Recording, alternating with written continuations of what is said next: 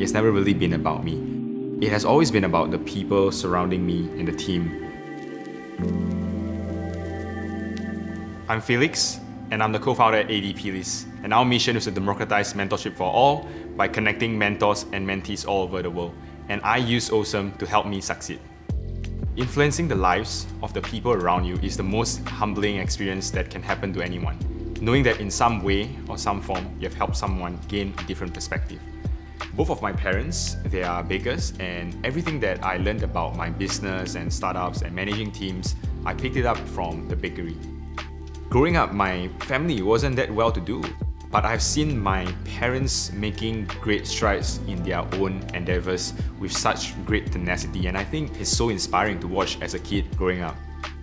Being able to witness that really shaped me as a person, especially my father. He's probably the hardest working person that I've ever met today.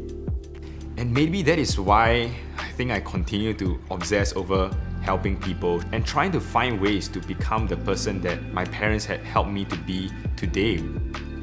I wanted to do something that mattered not just for the people around me, but really the people around them as well. When I set out to build ADPList, this has always been the mission that gravitated towards my life.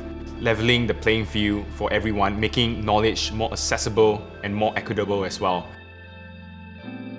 A business isn't run by one man, especially when I have received the help, the mentorship from many people and services that I'm truly grateful for. If I had one piece of advice, it would be hiring people that are better than you. Well, that sounds like a contrary advice, but try to automate what can be automated. That is one of the biggest reasons why I actually use Osome. It can be a stress reliever, it can be an expert support, if you will, that is allowing your business to grow and providing more visibility to you as a business as well.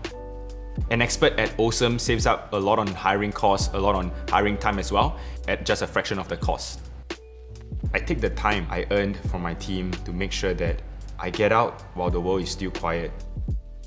Starting a business is not a walk in a park, Embrace your shortcomings. Make sure that you're well supported by the people and services that will support you throughout your entire journey.